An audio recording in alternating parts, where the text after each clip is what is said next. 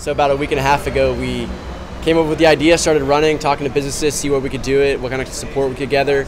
Um, we started thinking about what kind of charities that we wanted to get involved with, who we wanted to support, and came across Explore Austin and uh, started running with it. We built a canvas. It was all kind of a last minute thing.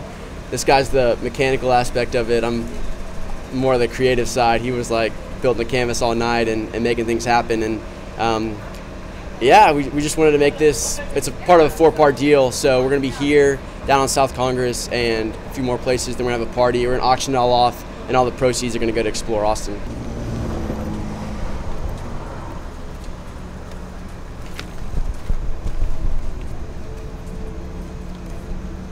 It's just about giving, providing access to art and having people come out and make friends and make art and help some people out. And, and it's, it's, the two of us are about putting out positive energy and that attracts people that we like to be around, you know, people that are into cool things, people that are doing, doing cool stuff and, and projects and working on things that are far out and, and, you know, keep inspiring other people.